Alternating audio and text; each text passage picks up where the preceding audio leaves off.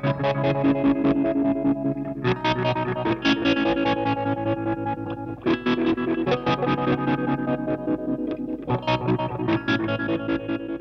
G'day everyone. In this tutorial I'm just going to be showing you how to how to lay out a um, to do a PCB layout in DipTrace from a schematic. We're going to be doing a um, op amp buffer, a very simple circuit, the, the, the most basic circuit I can think of um, for a guitar pedal, just a, just as an introductory thing. And by the end of it, you should have a layout that you can print and etch yourself, so you can make your own buffer. Um, this is going to be the single-sided version. I'm going to do it again for double-sided version and I'm going to go uh, might be a separate video but I'll also do a, a video on how to upload your um, how to upload your uh, layouts to OSH Park to get them fabricated.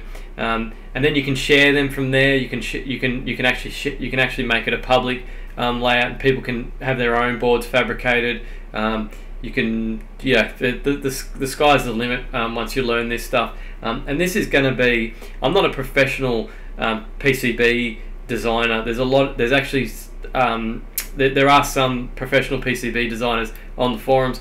I'm just a hack at this stuff, um, which I don't think is actually a bad thing because if you're a novice, uh, I've probably got a pretty good way of being able to explain this stuff to you because I'm not going to go into like uh, in-depth ways of setting up these boards. It's just going to be the, the simplest way that I know on on making a um, PCB layout.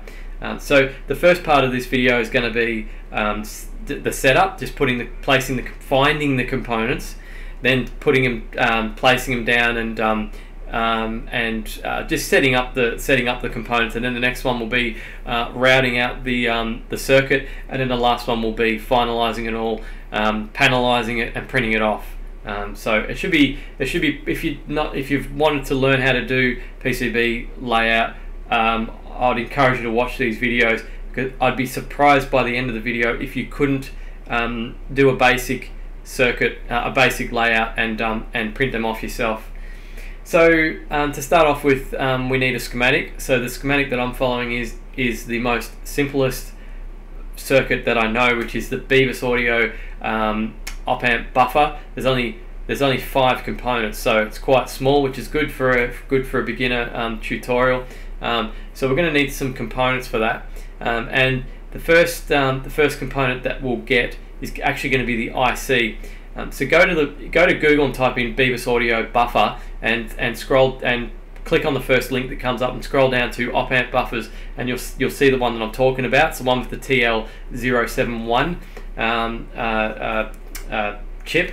Um, and that chip is a DIP8. Um, if you're not sure um, what package it is, um, you can look up the data sheet and it will say package and then it will say what it is. Um, I know what this one is, it's a DIP8. Um, in fact, any component that you're not sure what it is, you can look up um, you can look up the the data sheet for it and it will tell you like a diode might say DO35 um, uh, but with the passives it won't quite work that way but we'll get to that in a moment. So the first thing we need is a is an IC and it's a DIP8. So along the top here is the component libraries. Um, so just scroll along until you find dip. There it is there, dip, not dip underscore p or dip smd, just dip on its own. And then scroll down until you find a component called dip hyphen 8, which is, it's actually towards the bottom. My, um, my, my, my list was actually already at the bottom, but um, yeah, if you scroll down towards the bottom, you'll see um, one called dip 8. Dip dip hyphen 8 and it looks like that. Um, so that's your dip, that's, that's the TL071. Um, and now you're going to need um, two resistors as you can see on the schematic. So go uh, scroll along until you find the, um, the library called resistor. and this, this library is broken up into a few different um, uh, a few different types of resistors. You've got SMD down the bottom here. You can see that they're just two square pads. That's a that's an SMD resistor. Um, the through hole ones are the ones with two, two pads and a green square in the middle. Um, and the one that we want is actually the last one in the list, which is res um, 7.62 uh, 4 by 1.5. Um, just before you get to the SMD um, components there, that's the smallest resistor in the list. And because we use quarter watt uh, resistors for guitar pedals, they're usually pretty small. Um, there's only there's not many that are smaller than that. Only point uh, uh, uh, uh one eighth watt um, resistors are, are, slightly smaller, but um, that's the one we need anyway. Um, so so just place one of those on your layout. To do that, I'll just do that again. You just you just click on the one that you want, and it comes up with that outline, and then you just left click again um, onto your layer, and then right click when you're done to get rid of that silhouette when you when you finish placing um, your components. So there we have R1 and R2. Um, so they'll be our um, biasing resistors for the um, for the op amp, and then we're going to need two capacitors. Uh, one's a film cap, and one's an electro. Um, so we need to go to the library that's called cap, which is actually I'm pretty sure at the start of the library list across the top there. Uh, there it is, cap, not cap SMD. That's that's SMD. We don't want that. We want cap on its own, and a little explanation as to how to find um, the caps in this list. Um, the I'll just place one down because it'll actually be easier for you to see um, what I'm what I'm referring to. This one looks about the right size. Basically, the, the, the way these objects are named in this list, um, you've got cap hyphen 5.08. Um, the 5.08 is actually the spacing between um, the pads uh, and uh, sorry the, the leads of the capacitor and, and most film caps uh, that we use in guitar pedals. It's kind of a bit of a standard to use 5mm lead spacing for, for film caps, and they're probably the more popular um, film caps around. So you want to find a cap that's got cap hyphen 5.08. The the numbers that come after that are the are the dimensions of the cap. Um, so if you're doing a micro, if you're doing a one microfarad cap, you're actually going to want a bigger one than the one that I've put down. That might be a little overkill, but you will need a bigger cap than this. This will this will be good for 100 100 nanofarad, maybe 200 um, nanofarad. Once you get over about 200 nanofarad, you start getting, in, particularly in the microfarads, they start to get quite chunky um, and they get a bit wider, uh, and you'll need a different cap for that. Um, but um, there's a way that you can check if you've got the right component, and I'll explain that once we've finished placing the um, the the components. So the next thing we're going to need is the electro. Um, so uh, the, the electrodes are actually also in this um, cap library. So scroll, they're pretty much right near the bottom, I think, from memory. There they are. Um, so pick one that's got cap. It says cap. It says cap PR hyphen um, at the start of the electrodes, um, and then there's another number, and it's exactly the same. You've got some have 2.5, some have 3.5. That is the lead spacing on electrodes. Generally, they range between two to 3.5. Most of the most of the common ones that you use um, are between two to 3.5. I just use 3.5 um, because I find that um, if I use 3.5, it pretty much covers it for everything. Uh, if I get a cap that's 2.5 or 2, uh, 1.5 mil is not that much to be concerned about. You just get a tight fitting electro, which um, you could you could al- you could almost say is a good thing. Um, so pick one of these that's the right size. Um, I'm actually going to go for. I'm actually going to go for. Uh, this one will probably do. I'll go. We'll, we'll use that one. Um, the one that I'm using is um, cap uh, uh, 3.5, uh, 8H, and then 15. Um, 8H is probably means the height, and 15 might be the um, di diameter. I'm not I'm not totally sure on that, but um, just look at what the um, lead spacing is, which is 3.5 mil, um, and you should be right. Um, and so that's all the that's all the components that we need. Now I said before that you can check that the components are correct. There's a, there's a couple of ways that you can do that. If you're not sure which component to use or the one that you want for a particular um, particular purpose, you can get a pair of calipers and, and measure the real life component and see, for instance, this cap, you could um, use the calipers to measure between that, those two pins, uh, those two leads, and you might find that it's 3.5 mil. Um, so, so you'll know that you're looking for a cap with 3.5 mil. You measure all the dimensions and um, and get and, and pick one in the list that's exactly the one that you need. Um, same goes with the film cap. Same goes with the resistors. Um, and another way that you can do it is you can actually print off um, just the component pads and get the real life component and, and poke it through the, the piece of paper that you've printed onto to make sure that it's going to fit as well. I've done that a few times in the past. Um, with other things like transistors and, and chips and things like that. If you're not sure, uh, the best way to check it is to look in the in the data sheet, and you'll find in there it'll say um, what the package is. Um, and and then you can just find the package name um, in the libraries. Uh, so that's how you locate um, the the components. And you might sort of be thinking, "Gee, this is tedious. Every time I've got to lay out, I, have got to put a component down. I've got to do this."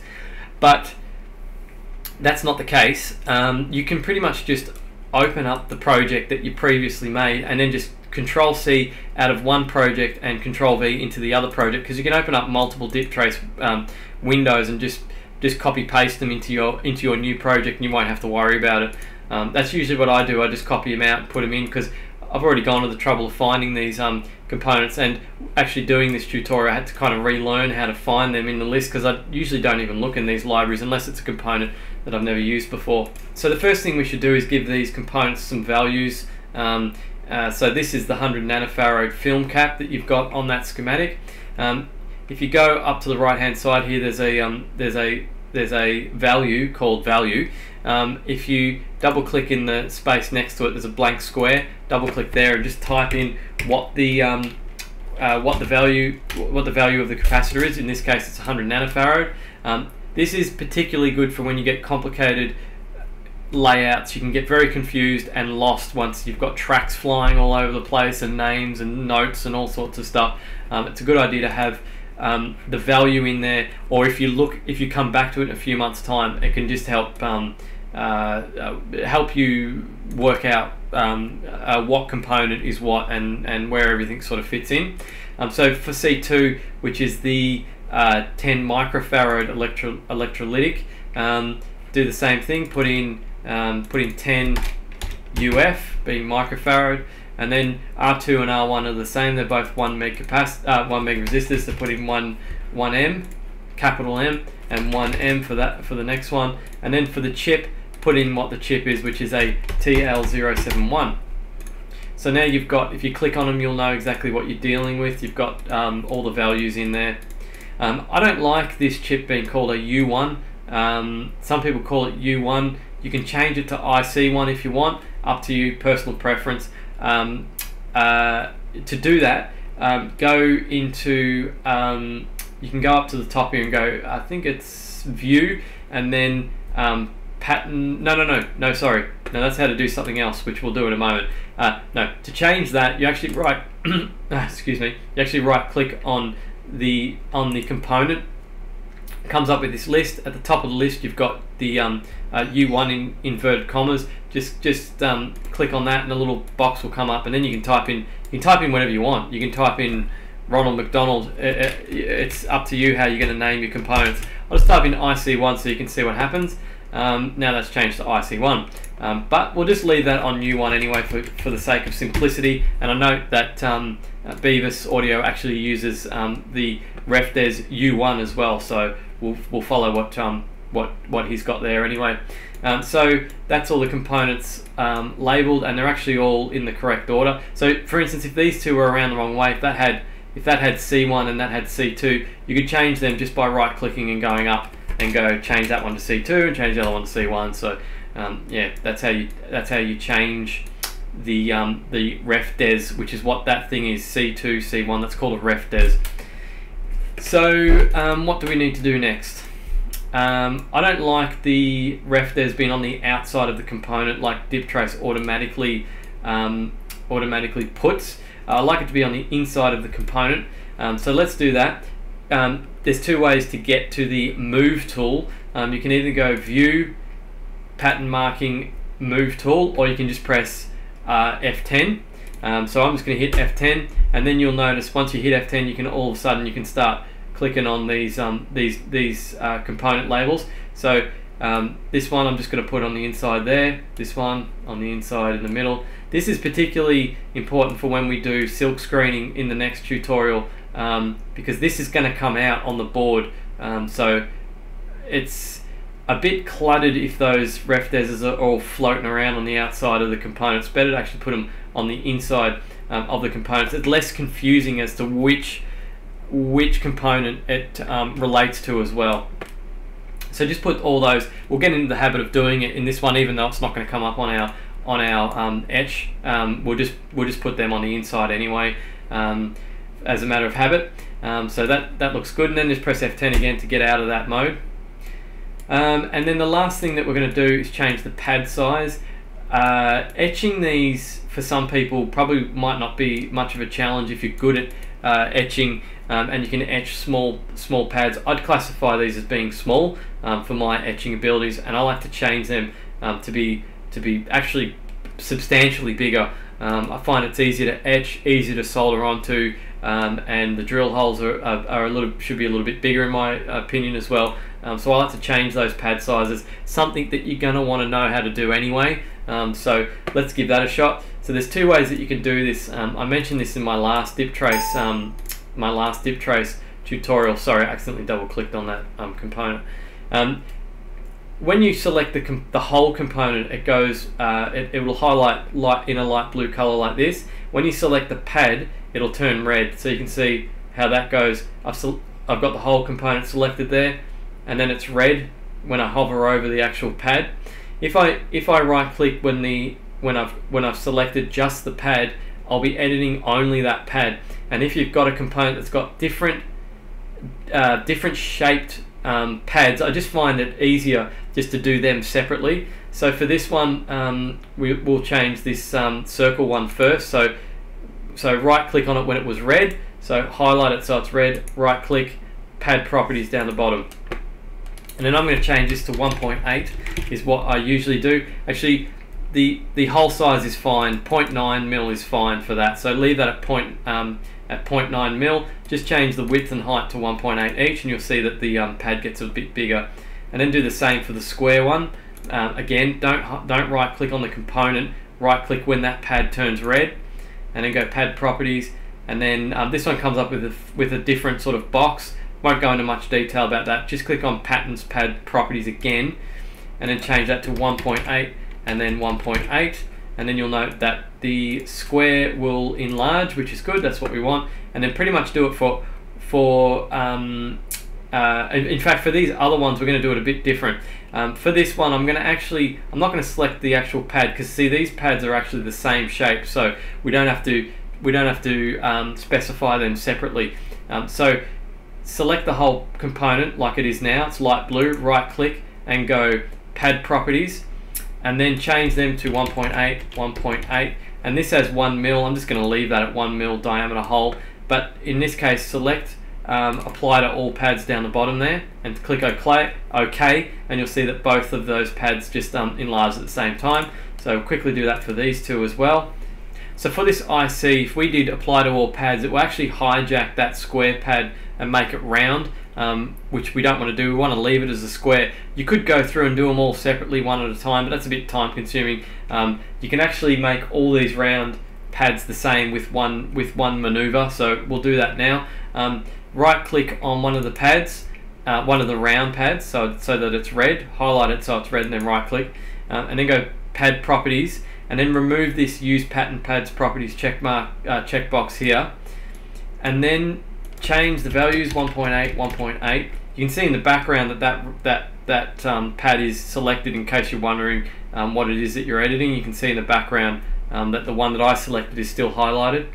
Um, and then in apply to, instead of all similar, uh, sorry, no, it, it usually comes up as current pad as the default. Instead of current pad, do all similar, and it will change all the round um, pads um, uh, uh, simultaneously and then we just want to change this one square one because it's a bit small. So just so just highlight it so it's red right click pad properties and then change um, change the dimensions to 1.8 and 1.8 and then go OK and now that one's big as well.